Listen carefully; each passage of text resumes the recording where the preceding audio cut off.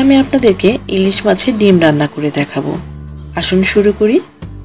যে পাত্রে আমি রান্না করব, সেখানে আমি তিন টেবিল চামচের মতন সরিষা তেল দিয়ে দিচ্ছি। এখানে আপনি সয়াবিন তেলও ইউজ করতে পারেন, কিন্তু ইলিশ রান্নার ক্ষেত্রে সরিষা তেলটা ইউজ করলে টেস্টটা ভালো লাগে। এখন আমি এখানে ফোড়নের জন্য সামান্য জিরা দিয়ে দিচ্ছি। এখানে আমি কটা চামচের মতো জিরা নিয়েছি।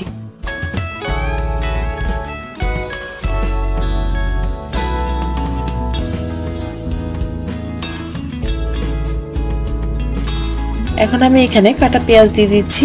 হাফ কাপের মতন। আমি এখানে মিডিয়াম সাইজের তিন চারটা পেঁয়াজকে কেটে নিয়েছিলাম।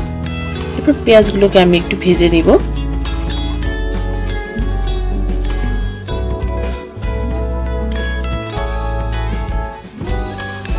এখন আমি এখানে হাফ চামচ আদা পেস্ট আর হাফ চামচ রসুন পেস্ট দিয়ে দিচ্ছি।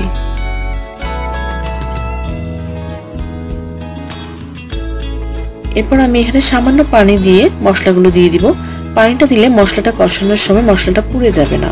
এখানে আমি হাফ চামচের কম হলুদের গুঁড়া দিয়ে দিচ্ছি আর হাফ চামচ থেকে একটু বেশি মরিচের গুঁড়া দিয়ে দিচ্ছি।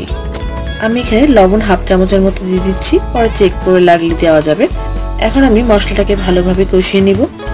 এই সময় হিটটাকে মিডিয়াম থেকে একটু কম রাখবেন।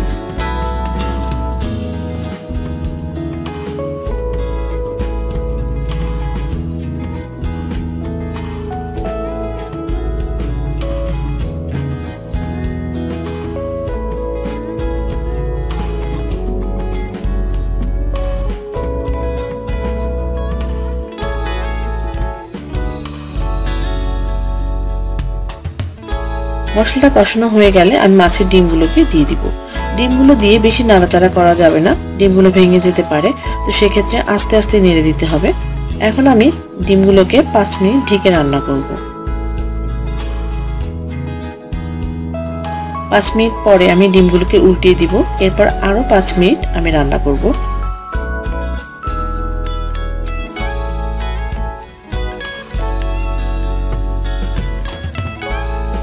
এখন আমি এখানে হাফ কাপ পরিমাণ কাটা আলু দিয়ে দিচ্ছি, কারণ আমার বাসায় আলুটা খুব পছন্দ করে।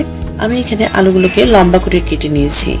আলুগুলো দেওয়ার পর একটু নেড়ে দিয়ে তারপর ঢাকনা দিয়ে আমি দশ মিনিটের মতো রান্না করব। এই সময় হিটটা আমি লোতে রাখব। দশ মিনিটে আলুগুলো সেদ্ধ হয়ে যাবে। দশ মিনিট পরে আমি একটু নেড়ে চেড়ে দিয়ে হাফ কাপ পরিমাণ ঝোলের পানি দিয়ে দিব। ঝোলের পানি দেওয়ার পরে আমি হাই হিটে পাঁচ সাত মিনিটের মতো রান্না করব।